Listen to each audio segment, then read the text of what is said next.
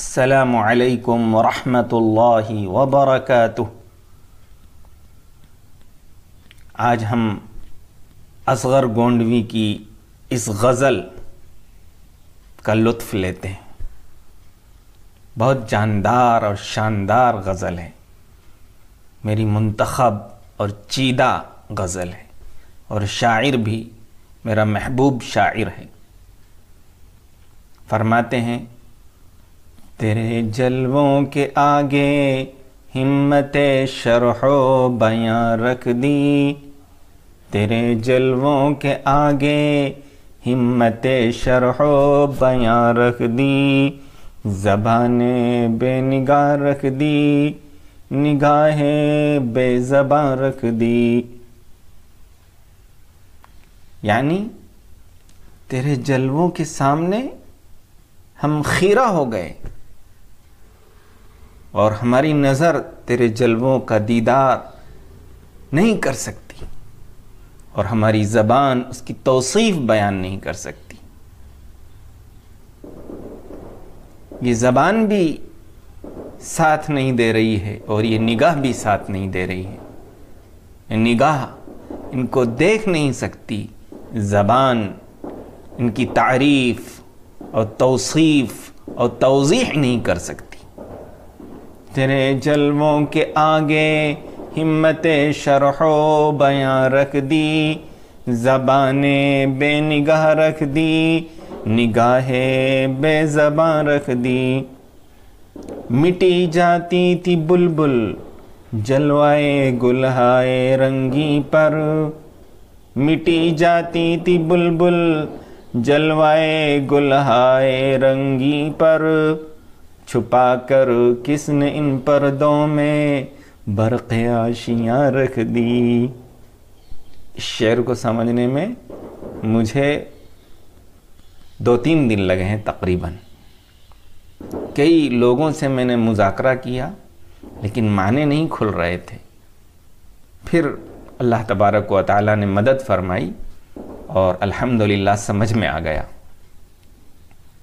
जो समझ में नहीं आने वाली बात है, वो ये है कि छुपा कर किसने इन पर्दों में बरक़ आशियाँ रख दी? फूल के जलवों में और उसके पर्दों में बरक़ आशियाँ का मतलब ये समझ में नहीं आ रहा था। आपको समझाऊँगा, इंशाल्लाह आपको भी मज़ा आएगा। मिटी जाती थी बुलबुल जलवाए गुलहाए रंगी पर। मतलब बुलबुल फिदा थी।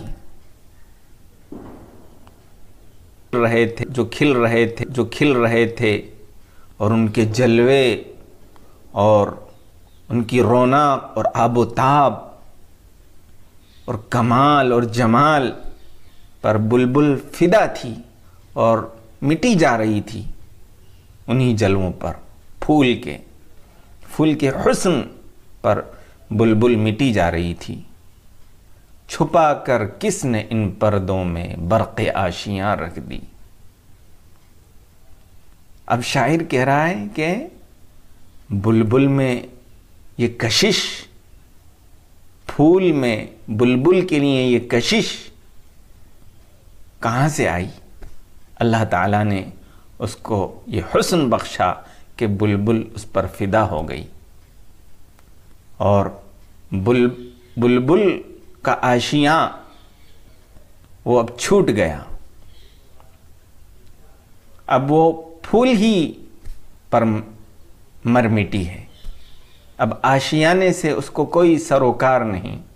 तो गोया के फूल का हुस्न बर्क बन गया बुलबुल के आशियाने के लिए और उसको जलाकर खाकिस्तर कर दिया। तो मानवी तौर पर फूल के अंदर बर्क आशियाँ रखी है क्योंकि आशियाँ को उसने जला दिया इस एतबार से कि बुलबुल को उससे अलग कर दिया। अब ज़ाहिर है, जब बुलबुल आशियाने में नहीं रहेगी तो आशियाँ तबाह हो जाएगा। तो फूल के अंदर आशियाँ की बर्क छुपी हुई है और ये हुस्न किसने दिया? अल्लाह ताला ने दिया। छुपा कर किसने इन पर्दों में बरक़ आशियाँ रख दी? नियाज इश्क को समझा है क्या? ए वाइज नादा नियाज इश्क को समझा है क्या? ए वाइज नादा हज़ारों बन गए काबे, जबी मैंने जहाँ रख दी। इश्क का नियाज और इश्क की तलब और तड़प, इसका तुम क्या अंदाज़ा लगा सकते हो ए वाइज नासे? ए हकीम और ए नादा वाइज तुम समझ नहीं सकते। हमारे इश्क की तलब को और उसमें जो तासीर है, उसको समझ नहीं सकते। जहाँ मैं अपनी पेशानी झुका दूँ और रख दूँ, वहीं काबा बन जाए। अल्लाह के रसूल सल्लल्लाहु अलैहि वसल्लम ने फरमाया जो इलत लनल अर्द कुल्लुहा मस्जिदन व तहूरन। हमारे लिए सारी ज़मीन मस्जिद बना दी गई है, सजदागाह बना दी गई है। और अगर पानी ना मिले तो पाकी हासिल करने का ज़रिया भी बना दी गई है। हज़ारों बन गए काबे जबी मैंने जहाँ रख दी। अब ये शेर मेरा मुंतखब नहीं है। फिर आखिरी शेर लीजिए। इलाही क्या किया तूने कि आलम में तला तुम है?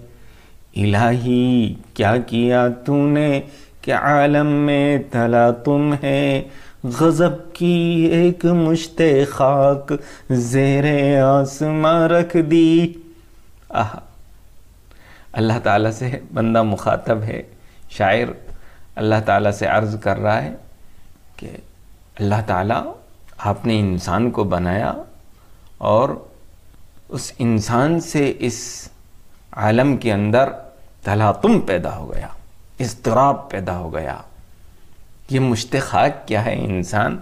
खाक की मुट्ठी, लेकिन गज़ब की इसके अंदर तासीर है। ये जब नेकी करने के लिए आता है तो फिर उसकी भी इंतहा नहीं, और अगर ये इंसान ये बुरा बन जाए तो फिर उसकी भी कोई इंतहा नहीं।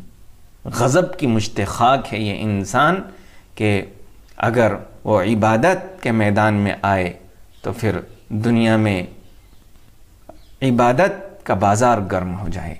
फरिश्ते भी अपनी इबादत को कम समझने लगे इंसान की इबादत के सामने। और अगर ये फितना परवरी पर आ जाए तो फिर फितने बर्पा करने में भी किसी से कम नहीं है। ये गज़ब की मुश्त खाक है जिसको अल्लाह तबारक व ताली ने इस रुए ज़मीन पर उतारा है और आसमां के नीचे रख दिया है। इस मुश्त खाक को अपनी कदर पहचानना चाहिए, अपनी सलाहियतों को पहचानना चाहिए। घटे अगर इंसान, घटे अगर तो बस एक मुश्त खाक है इंसान, बढ़े तो वसात कौनैन में समा न सके। घटे अगर तो बस एक मुश्त खाक है इंसान बढ़े तो वसाते कौनैन में समा न सके। आखिर दावाना अलहमदिल्ला रब्बिल आलम।